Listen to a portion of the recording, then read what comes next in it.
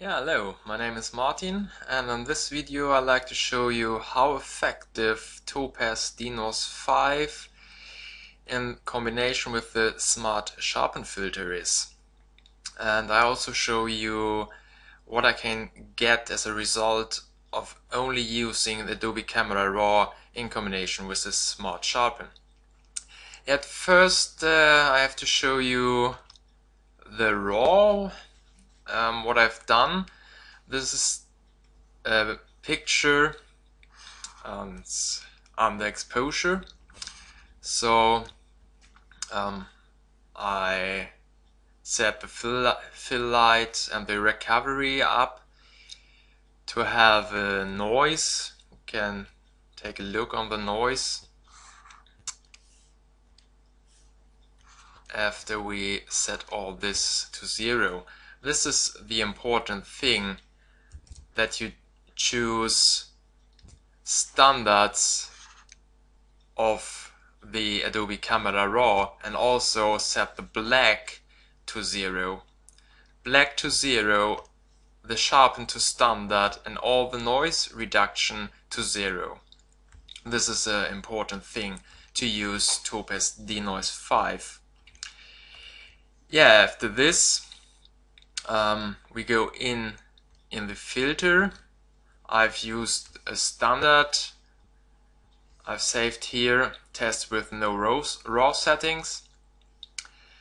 And I will show you this in the 200% by pressing the space bar. This is the before and this is the after. And we can go in in the 100% this is the before and this is the after. And here you can see all my settings of the filter for the noise reduction.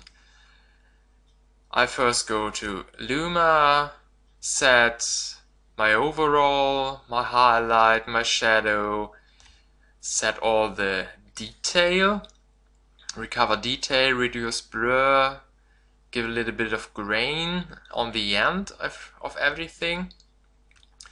Then I take a look on the color, choose maybe the clean color. Then I use the red channel, adjust the red slider here and also the blue the same. And um, on the last the last I do is take a look on the blacks and correct the black level with, the, with this slider. It's a new slider for the new Topaz Denoise 5 and also the, the banding is a new for the Denoise 5 horizontal and vertical banding. Sometimes you have banding in your pictures, mostly on the JPEGs but also on the raw format you can have banding from the sensor. So you can choose this horizontal and vertical and it's uh, it's a very nice option on the new filter from Topaz. Yeah these are my my settings. And um, then I use uh, Smart Sharpen. You can see how much details we get here on the tree and I also will show you my settings on the Smart Sharpen. These are the settings for the Sharpen, the settings for the Shadow, and the settings for the highlights. Yeah, on the, the next layer I used the same Smart Sharpen, but I used different settings here for the noise reduction and for the sharpening. And uh, I only use the low amount on the sharpening. And the reason of I will later use the smart sharpen filter in Photoshop. But um, I need a little bit of sharpening here on the raw format. It's uh, it's better for the picture for the whole image. Yeah and um, now we can take a look the difference between these two ways by using no noise reduction on the camera raw and using only noise reduction on the camera raw and as I saw the same settings in the Smart Sharpen. I hope you can see it on this video and um, if you take a look here on the on the small leaves in the tree I will say the details even here it's nearly the same but you've got a color cast or this all these green colors are washed out by only using the Adobe Camera Raw. Here on the way with the topaz you've got a clean color and everything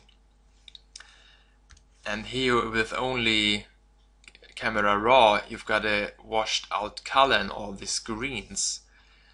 This is with the topaz. This is only Adobe Camera Raw. And even here in the in the clouds I hope you can see in the video here with the topaz and here with the camera raw there's a little bit of color cast in these clouds. And I will say this is more naturally by using the way with the topaz filter instead of using only the camera raw.